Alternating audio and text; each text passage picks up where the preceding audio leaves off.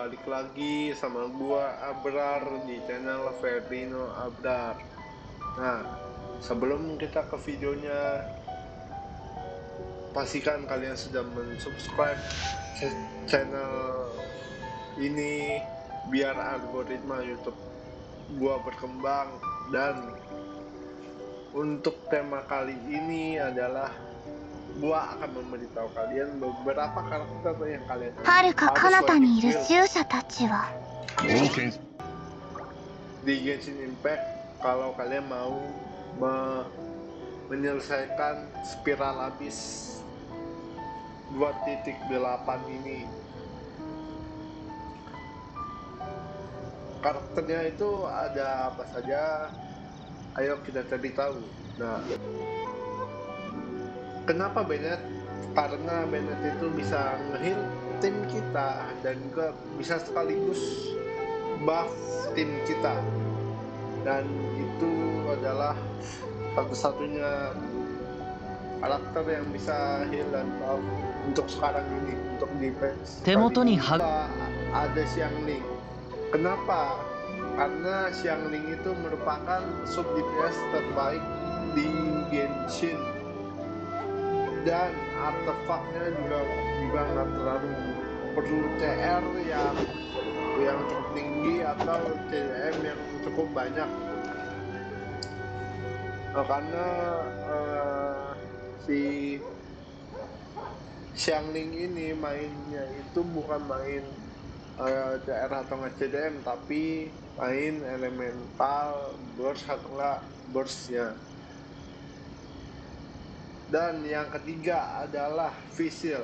Meng- Mengapa Visil? Karena Visil itu kalau misalkan C6 itu skill burstnya atau enggak skill elemental burstnya itu seperti machine gun dan juga itu salah satu sub DPS terbaik setelah Xiangling dan Bennett dan yang keempat ada Beidou Nah, mengapa?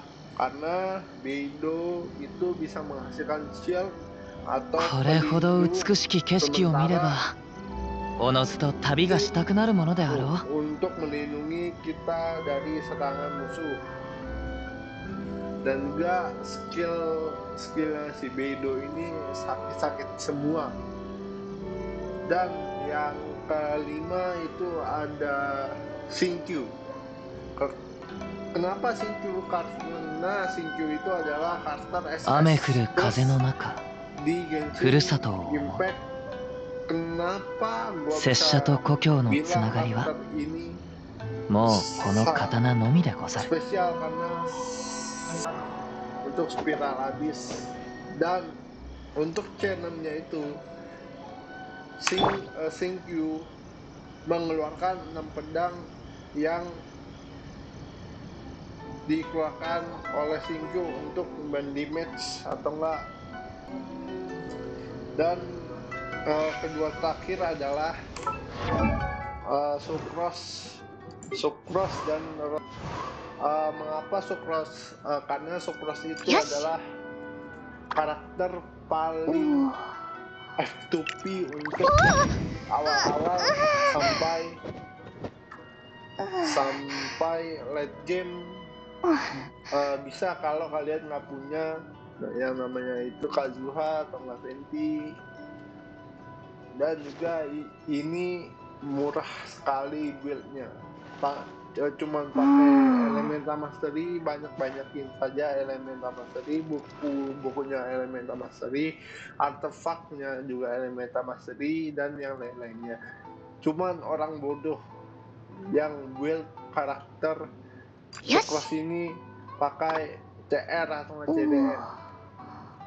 Nah, eh, sekarang kita mau dibahas tentang Rosalia. Eh, eh, menurut gua Rosalia itu adalah sub DPS juga terbaik sih di di kelas Xiangling lah Eh, menurut gua eh, karena eh, eh, talent pasifnya yang kedua atau nggak ketiga gua eh, gua lupa. Itu bisa menambahkan uh, crit rate tim kita. Dan uh, ini bagus sekali untuk kayak untuk main Ayaka Freeze terus uh, Ayaka Mel Ayak. Pokoknya yang yang krayo-krayo lah. Yang karakter kayak Senhe terus uh,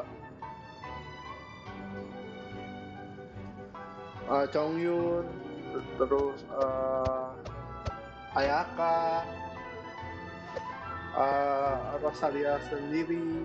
Nah se uh,